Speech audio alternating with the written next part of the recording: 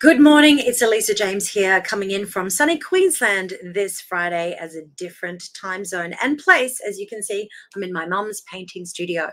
Now, today is slightly different. I haven't told anyone I'm going live today, so my apologies. But it's all about movie making and behind the scenes, what happens. Now, today I thought it might be really fun since our movie just came out less than a week ago now, and it's streaming all over loads of different channels in the US. The movie is called A Christmas Keepsake. Now, it's a beautiful family movie in the Hallmark type of tradition, and it's running or rather run by the GAC channel, which is the Great American Family Channel. Now, that channel, very much like Hallmark, is very wholesome, very beautiful. They do aesthetically pleasing, gorgeous type of pictures. And the storylines are very family friendly.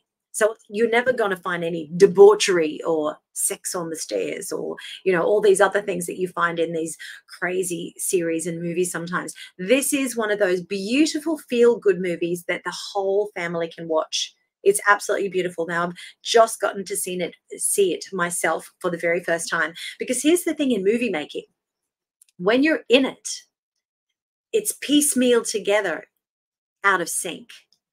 Now, I've done a lot of acting and performance all my life, but movie making is very a specific type of art.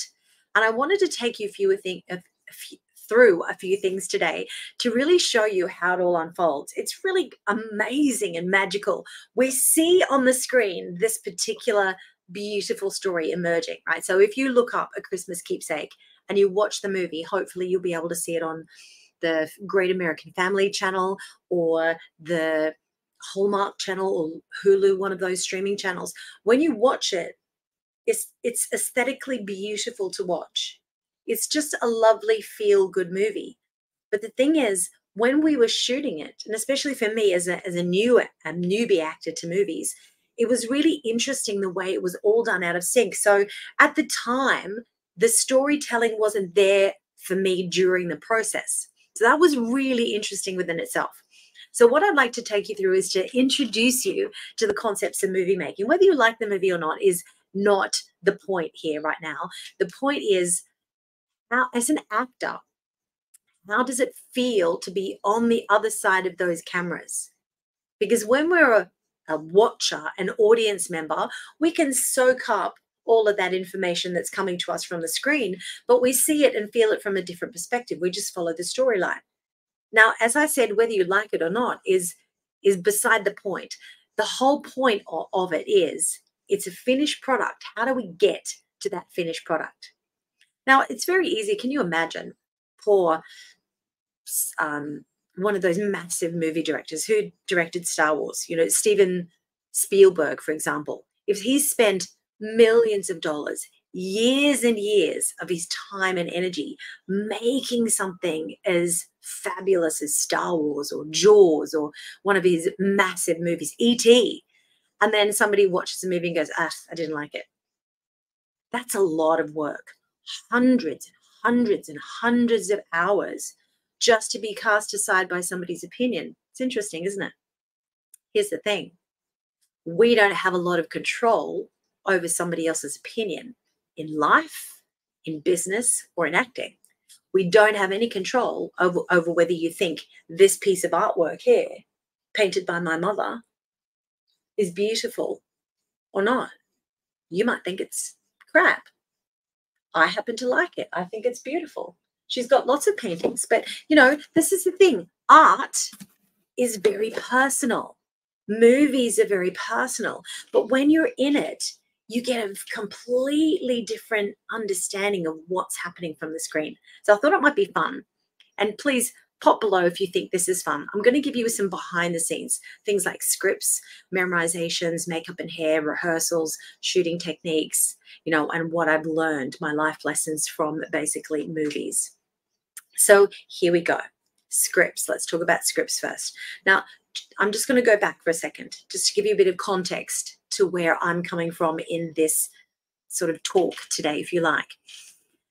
As an actor and a singer, I have been in the industry professionally for about, well, longer than I can think. From when I was 11 years old, I had my first paid gig in a TV commercial. Now, from there, my very first paid performance on stage was with Mel Gibson. It gives you a little background of, you know, where we started before Mel Gibson was even famous. He had done Mad Max and one other movie, but he wasn't really famous yet. And so we did this silly play on stage with him. Another show that I did was with Nicole Kidman. I've worked with so many different people all the way through my life, but never really made it to the big time and never really got into a commercial big movie. It was always, you know, my life took other turns. So this has been such a beautiful gift to land on my lap even though I spent years on stage doing lots of different stage shows, loads of commercials, lots of small TV stuff. This has just been such a beautiful experience. And it's very different to all the other experiences that I've had. So I just wanted to share with, with that with you too, so you could get a little background of the whole thing. Now, scripts. This was super interesting because when I, as an actor on the stage, you get the script well in advance, it's set in stone, and then you learn the whole thing. You go through a six week rehearsal process or more. With Barnum, when I was doing that, we had to go six weeks of circus training first, then six weeks of learning the show, the choreography, the costume changes, the singing, the harmonies, all of that before all the opening nights and the previews and things. So that was a big, long rehearsal process. But for this, and as I said, I haven't been in a lot of commercial movies. This is my big first commercial movie. I've been in other independent movies, so I can only um, compare it to that. But when in this in this movie with the script, it mm. changed a few times, and the names and stuff changed, and so we had to sort of really be on the ball with all those changes and be willing to be flexible with our memories. Now, as a show performer, I learn my stuff way in advance. But with this type of work, and maybe with television, it's even faster, you get the scripts and then you learn them as you go. Because what we're really trying to do is you, you can't really cram in an hour and a half or two hours of content from a movie into one brain and then expect to be able to just pull any scene out of your hat and be able to perform it. That would be quite difficult. See, in the context of a play, I was in a very long play once in America called uh, Barefoot in the Park. And when I was playing the mother character in that, we had to learn the entire thing, of course, in entirety. But the easy part about that is that you do that and you run it a million times not a million but you know at least a couple of hundred times you're running that consistently in that format so it's much easier to put that into your muscle memory because you're running it in real time in the right order over and over and over again so you really get to understand the the storyline that you're developing as you go. But with the movie, because we're sort of doing this scene and then this scene and then this scene and it's sort of all over the shop it's really hard to sort of remember everything like that so what i found is from learning from the other actors is that instead of trying to cram everything at once which i tried to do and it was very very bad at doing that because my brain didn't cope. Menopause brain here. I play the mum after all. I am a mum. When I tried to do that, just didn't work. I just forgot everything. So what I found was really helpful and really useful was just learning a chunk at a time. So what I would do is I would sit into a beautiful location, and we were on beautiful locations filming this. It was just stunning.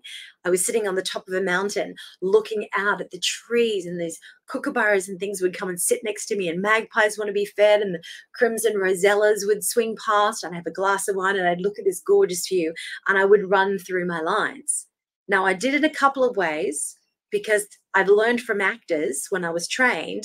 If you do it in this particular way, it sinks in a little bit better. So if you're an actor, please listen up Number one is, of course, read that chunk of lines that you have to do for the next day over and over and over again as many times as you can.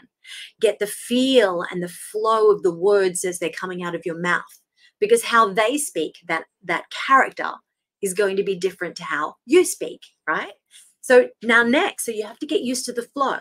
Now, for me, speaking American was very difficult because I had to think of the shape as well as the flow. So trying to remember everything and put the accent on was was quite challenging for me, especially with menopause brain. But that was really interesting and I learned a lot from doing the shapes and the resonance. Now next, I was taught this awesome trick Then I wrote down every single word from that part of the script that I wanted to learn. I literally wrote it out in my own handwriting. That I learned a lot too, because then when you're writing it out, you're getting a different type of kinesthetic feel. It gets locked into your body in a different way. And then, cherry on the pie, is I read that piece once I'd got it in the correct accent with the correct forward placement. Then I put it into my phone and I recorded that on audio. So next, what I did over the next couple of hours while I was walking around my hotel or going for a walk or at the gym or something like that, I would listen over and over and over to that particular spoken phrase. That's the way that I did it, and I learned that scripting. So that memorization and the scripting is pretty much tied hand in hand. Now, if you're an actor or you've done some acting, I'd love to find out some feedback on how you do it, what the memorization tips and tricks are for you, because that would be brilliant. Now, when I was working with these beautiful people on Christmas Keepsake, Jillian Murray and Daniel Lissing are very experienced actors. It was such a joy to be on set with people who are so professional, so into their role, and just it was magical to watch. It it just flowed. They were just so professional. It was incredible. And then they could switch it off and have a chat and giggle and laugh and sit in the corner and hang out with each other. It was just amazing. So me being this is the first time on a you know a beautiful movie set like this, it was really lovely to watch from a, a learner's perspective. Yes, I've been in the industry for a very long time. Yes, I had my first professional gig at 11. I'm much older than all of them. I've had lots of life experience, but it's different life experience. It's I've been on thousands of stages worldwide. I've been on thousands of cameras for speaking conferences and things like that. Performances, my home, but this context was different. So it's interesting how just because you're very good at what you do doesn't mean you can move that into a different context and be really good at that too. For example, I want to start a podcast, but I don't really know the ins and outs of starting a podcast. So it's something that I'm going to have to learn, just like StreamYard. I had to learn that too. So we have to be very open as we get older. I'm 58 years old, but I'm learning constantly. And I highly recommend that wherever you are in life, don't use your age or your lack of something as an excuse not to learn. Because look, I have other peers in my circle. I'm 58. Most of my friends are in their late 40s, early 50s. And most of my friends, not most, some of my friends won't do things on tech. They won't launch an online business. They won't launch a YouTube channel. They won't get on video. They won't get on stage. They won't do all these things because they don't know and they say it's too hard or it's too difficult or I'm not techie. They'll make up all sorts of excuses. So, what I love about what I do in life is that I'm learning every single day. I'm building variety into my life. And that's what makes life interesting. Who wants to get up and do the same job over and over and over again? That's boring. We got to make all these opportunities for ourselves to do something special in life, to make it feel like it's worthwhile, you know, to make your your life feel like it means something. So whatever that is, it doesn't matter for you, but just put your heart and soul in it. So let's go over. We just talked about script and memorization a little bit. Now we're going to do makeup and hair. So I don't do my makeup in here now. As you can see, it just gets all over my face and drives me crazy because I don't have any hairspray here. And it's very hot. But I was really amazed at the how they set up the makeup trailer. It was it was fantastic. We had a makeup trailer, so every morning at 5 a.m. we had a makeup call. We would have to go in fresh faced and clean hair, go in and sit down in the trailer. And Jillian was sitting next to me. Ellie would be the other beautiful little girl, Ellie Stewart. She's about 10, gorgeous girl in this movie. Oh my God, you've got to watch her. She's just a dream to watch. So lovely and natural on screen. It's just lovely. So we're all sitting there getting our hair and makeup done. So they would put, you know, this specific base and foundation on and then the concealer and then they would do all the, the eye makeup. It would take them hours and hours to get that look that we wanted. And then they would do my hair up in this beautiful little bun. But the interesting thing is that they had to also, also consider today we're shooting in the bakery. Now, the movie or the storyline doesn't go bakery, bakery, bakery, bakery, something else. No, it's the storyline goes here's the bakery, and then there's something else, and then here's the bakery again, then there's something else, and here's the bakery, and there's something else. Now, these bakery days might be a different day, these bakery shots might be the same day. So they had to figure out the continuity. Can you imagine? Oh my goodness, that would be a hard job. Continuity. They had to figure out the continuity of okay, did my hair do this on the first day in the bakery? If it did, and then this this scene in the bakery is the same day, but I shot it two weeks later. They had to get all those photos from every different angle to find out exactly how they did my hair and my makeup that day, and then make sure they did it again two weeks later on this day when we're back in the bakery for the same day. It was super interesting, and oh my goodness, what a job that is! Continuity really is important. So that was super cool. And the next one is rehearsal. Now, when you're doing a musical theater or a play, rehearsal time is really, really long. You get six weeks at least, or sometimes in the smaller plays, you might get two weeks full time rehearsal. But with this, we've got about five minutes. Seriously. it, was, it was so quick because the entire movie, an entire one and a half hour movie, was shot in three weeks. It was amazing. The the precision was like a clock they had everything figured out from 5 a.m. until 6 p.m. or 8 o'clock at night. They had everything, everything figured out, every shot, everything they were going to shoot in that day. It was amazing. So when we got on set, of course, we had to know our, all our lines, all memorized. And then we had to come on all made up, hair ready to go. And then we would all have a little huddle and then talk about, you know, what happens in the scene, who moves where and who goes where. And then we'd sort of run it, just block it vaguely with the lines, and then we'd start to shoot. So here's me with my menopause brain going, oh my God, I have to remember where I stand, what I say, put my American accent on, and then go here, and then go there, and then duck, and then hold this up to the right. I was like, oh my God. This, I thought live theater was hard. Live theater is very hard. It's, it, it's a lot of pressure because you have to remember a lot of stuff. And when something goes wrong, there's a live audience, thousands of people watching you messing up and having to cover it up. Nothing to see here. Yeah, that's sort of fun and interesting. But on a movie set, you want to get it right because you want to get it in the can looking the best that you can possibly look, right? You want it to look good. You want it to sound good. You want to feel good. You want to have the acting has to sit, you know. And sometimes the interesting thing for me is, is this the scenes that I shot that I thought it did a good job and it felt good maybe they couldn't use that take because there was something wrong in in another part of the scene. For example the light might not have been good or you know the snow machine was too loud or you know maybe one of the other actors missed a line or something. It's like eh, you can't control everything right? There's 20 30 40 people involved here. So it's not all about you. It's a team effort. It's so interesting. So the rehearsal or a very limited rehearsal really showed me that when you're learning and memorizing your lines in your script and you, and really setting into that character you have to be so solid about who you are and what you're there for that you can just have anything thrown at you and you'll still be okay.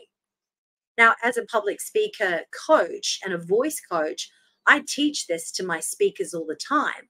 I don't teach acting very much. I teach a bit of singing, but we can apply this in everyday life. When you're doing a, a presentation for work, for example, with PowerPoint, you have to know your content more than you think you need to because shit happens and things might get thrown at you that might throw you off. So we have to learn our lines more than we think we need to know them. And this applies for so many other things in life as well. Hope this is all making sense going to jump over the comments here. Hey, hey, hey, it's nice to see you, Chantel. Hi. We're just talking about the movie and behind the scenes stuff at the moment because I thought this just might be fun today instead of my normal presentations. Next part is shooting technique. This was really cool too. Because as I said, I've done a lot of commercials, I've done some feature films, short films, lots of corporate video, things like that. But most of the films have been independent. So it's been a very small cast and crew and it was run in a specific way. But this was super interesting because we had multiple camera cameras on multiple angles. So what made it easier for us as actors and this was such a relief to find out is when we're learning the lines and you're trying to get it into muscle memory trying to remember the accent, trying to remember where you stand, when you come in, what the other actor says, when to nod, all of that sort of stuff. You're trying to learn your actions, if you like, of that scene. Then what we get to do is fantastic. It gives us a little bit of an edge. They shoot, say, a long shot first. So a long shot would be if I was sitting here talking to you on camera and this was my scene, the camera would be all the way across the other side of the room having a long shot of exactly what I'm doing here, sitting talking to you on camera. That would be the long shot. So I get to prepare. So you're my my other actor. So I'm getting to chat with you and I'm talking and we're doing the scene and the camera over here is capturing that from a long distance shot.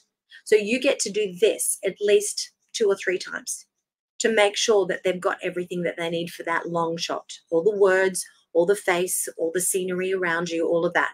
Brilliant. Now you've had three more rehearsals. Then they move everybody offset and then they change the camera angle. And then they might put the cam camera, say, you're the star and we're having a conversation. Now the camera goes here over my shoulder, OTT. So now over the shoulder, they're getting all your facial expressions and your words and your movement with your face. All of that, they're capturing all of it for your close ups. And then you might do that two or three times, maybe four. Then they'll move that camera from behind my shoulder over to behind the camera, behind your shoulder. Then the camera is over your shoulder. You're delivering all your lines as normal. And as an actor, you have to keep delivering because now you're feeding the lines to me. And if you just say them like blah, blah, blah, blah, blah, how am I going to feel the, res- the correct response? You've got to literally stay in your character the entire time because then how good that other actor is at delivering those lines will help you become a better actor on this side to really be in the character and deliver your lines from the best perspective. And then from there, they might talk, take the camera on a side angle like this and capture both people talking from it's it's super interesting because so what that did for me as someone new to this particular environment, it was great because it allowed me to go through those lines and through the actions and through the facial expressions and the feeling and all that over and over and over again. So by the time you get to the end of all of those shots, it might be an hour later and you're really sitting in the lines. So that was a super helpful help. If I'd known that before I jumped on set, I probably wouldn't have been as nervous.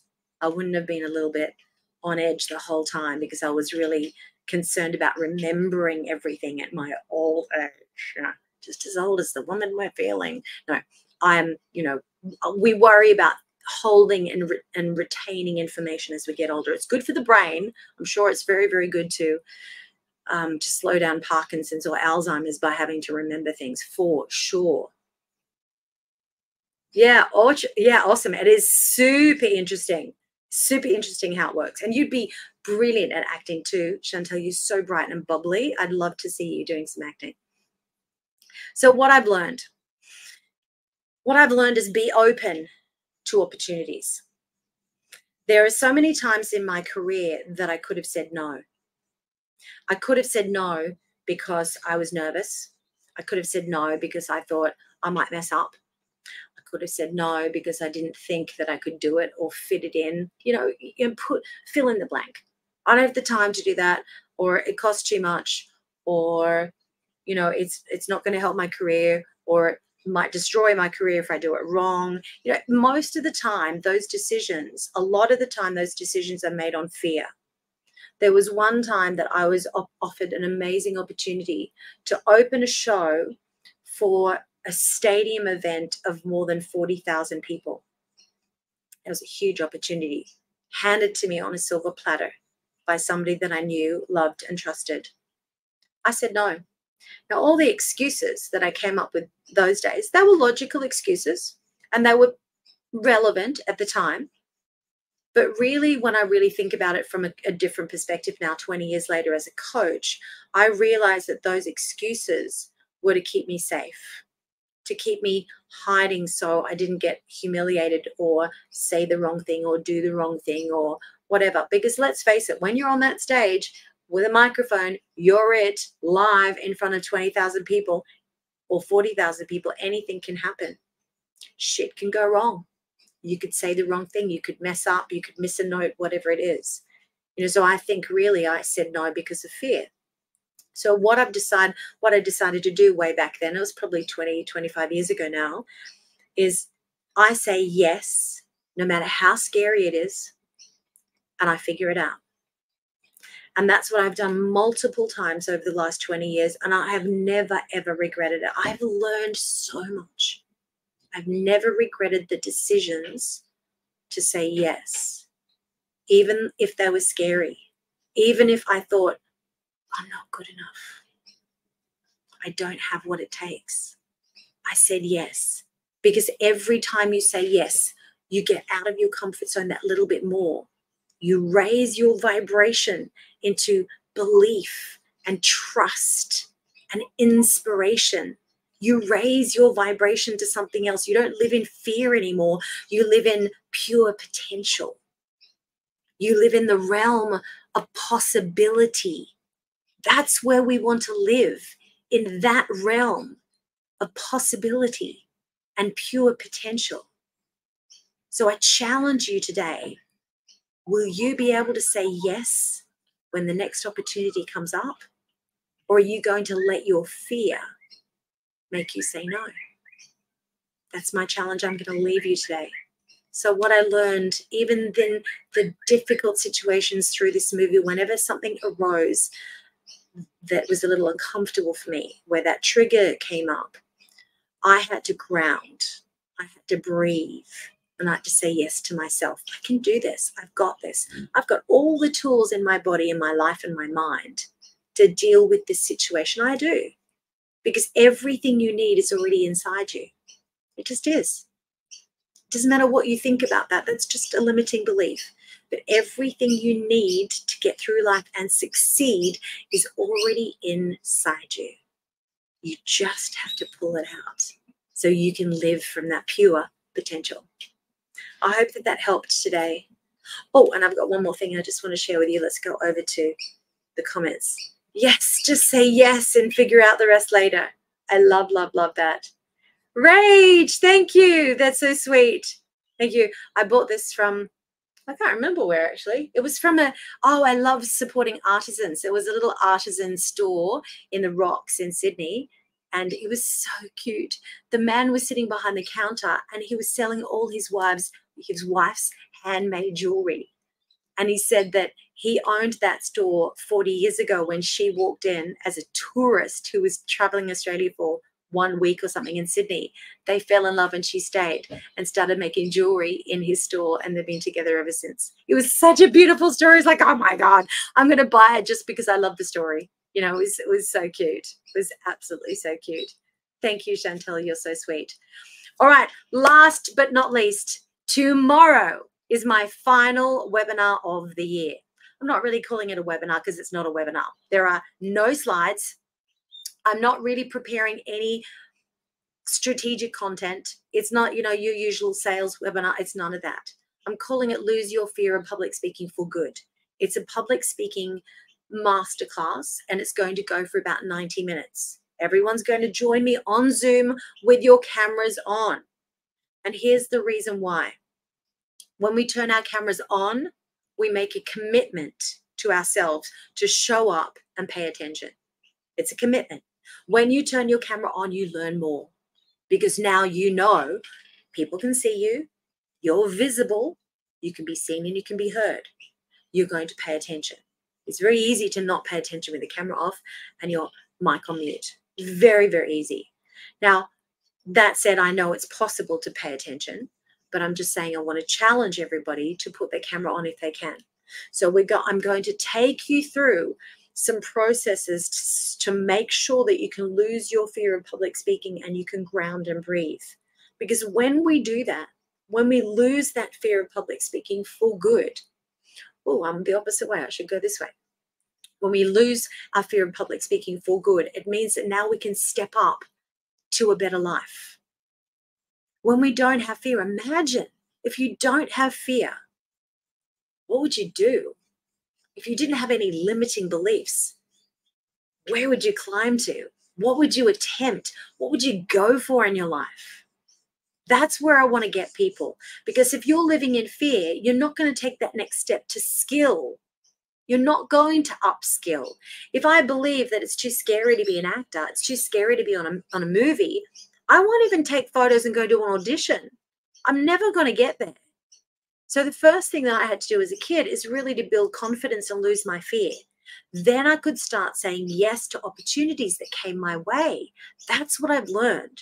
So I'm giving this class absolutely for free for 90 minutes to help you get over those limiting beliefs and get over that fear. Because if you step into that position where you have less fear and you're willing to build confidence and skill, then you can go anywhere in life and do anything that you want. Now, at the end, I will be sharing how to join my monthly membership. But see, the monthly membership is to give you skill sets and confidence and keep growing so you get the transformation that you need. So, this is an introductory 90 minute masterclass where I'll be helping you get over your fears so you can say yes to yourself more often saying yes gives you more opportunities in life. So we're going to put the link below under all these videos that you're seeing either on Facebook, on LinkedIn, or live on YouTube. We'll put the link below directly to register. All you have to do is click on the link. It takes you to a Zoom page, super simple, nothing fancy. It's just Zoom. And you put your name and your email in to register for free. Now, I'm giving my time for free. Normally, I get paid more than $500 an hour per hour for consultations and for coaching one on one all around the world. So, this is absolutely free for anyone who needs help in this area. This is the last time I'm doing it for free this year. And I hope that everybody has a wonderful, wonderful time over Christmas and starts to work on you. You know, just don't just eat turkey until you wobble, wobble, wobble. You know, let's not do that. Let's sit down and really reevaluate our, our lives. What do I want to do? Who do I want to be? What do I want to achieve before I die? How can I do more so I can have less regrets at the end of my life? That's what I like to do over Christmas. Is just start to reevaluate everything and start to make plans for how I'm going to roll out the very the very next year. And believe me, this year is not over, guys. This year is nowhere near over. It, there's six weeks left of stuff to do.